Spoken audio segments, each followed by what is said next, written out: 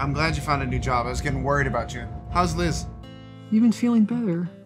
Everything's gonna be okay. I promise. No, just just hang on. Look, there has to be something you can do. No, you don't. Her. Hello? Are you okay? I just want you to know that I love you, and I would do anything for you. I know.